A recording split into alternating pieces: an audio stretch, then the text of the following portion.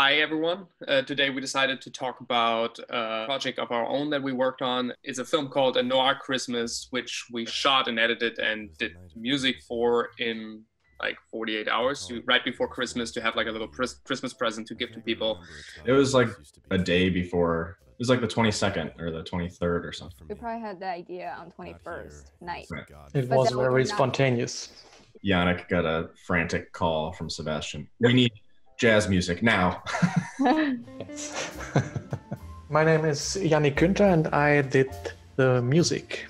My name's Cici. I did art direction. Uh, my name's Mike Chryssomallis. I did the cinematography and the voiceover. Um, my name is Sebastian Schnabel, and I was the director, editor, and the actor. You said it's going to be a noir movie Mhm. with with a detective. So I tried to come up with some spontaneous jazz music, even if I don't really know how to play jazz music. we knew we wanted this noir, depressed narrator and pair that with the comfort of a Christmas story.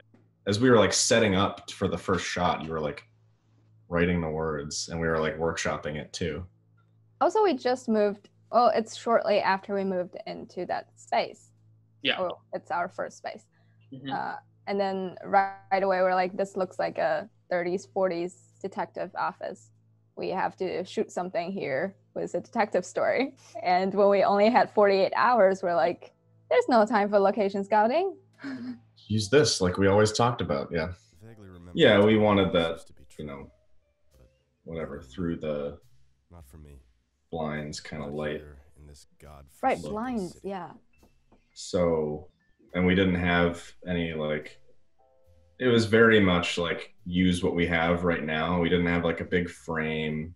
We didn't have like blinds sitting around that we could set up on a C stand and shoot a light through. We just had to like, Cici built this tiny little thing, like with ca- cardboard and like little strips of tape. I think we ended, we used gaff tape. Yeah.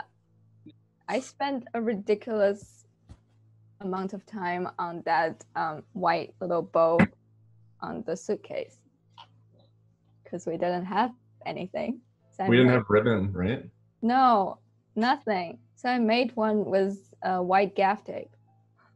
For the lighting, we used um, a lot of practicals, but we had one light through those fake blinds, and we noir is marked by high contrast, deep shadows, and you know, uh, so we we went with harder light.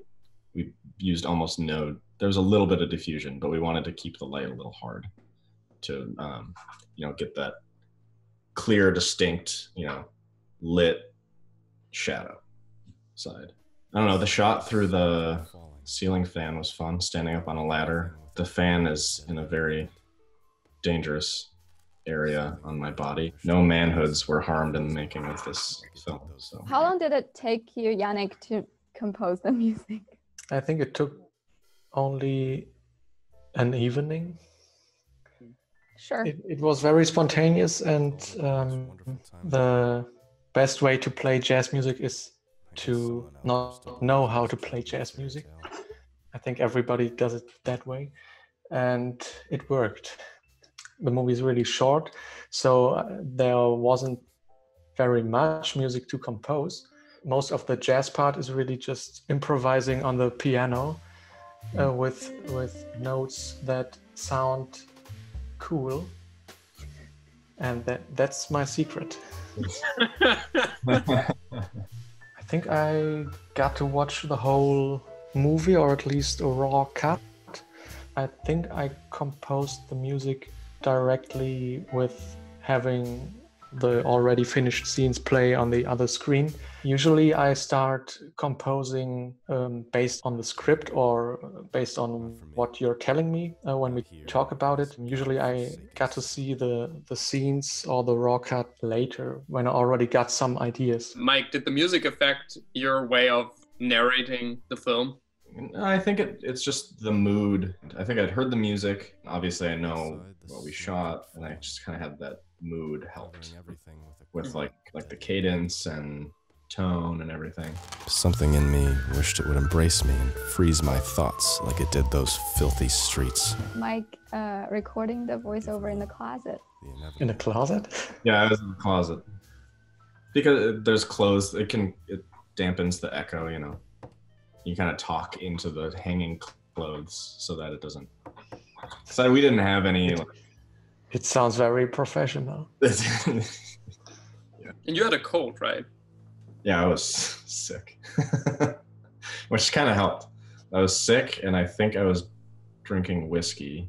Adds a little bass to the voice, I think. So Sick and drunk yeah, in the closet.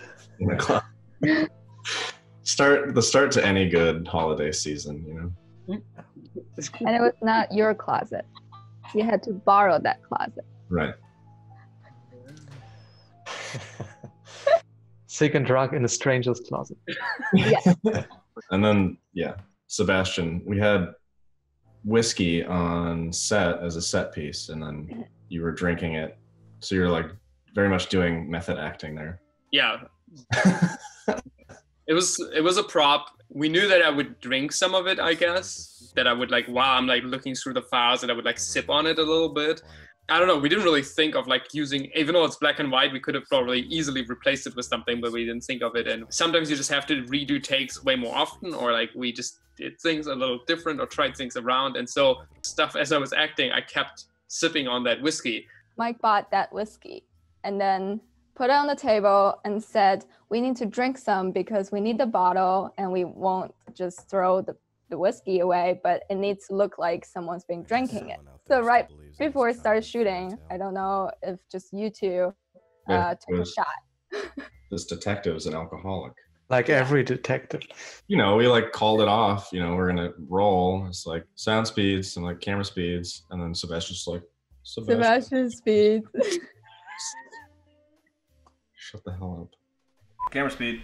Sebastian Speed. Fuck off. Camera speed. Sebastian Speed.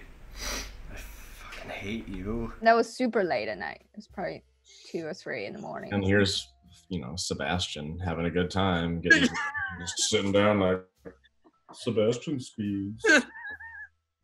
Sebastian, you directed and acted. Remember a time Mhm. How was that?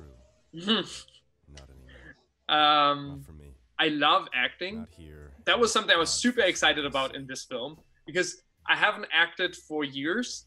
And if so, it was only like the tiniest little cameo, like a little moment or like some person in the background. There was one film where I'm like in the end have a tiny role as a German tourist in the US.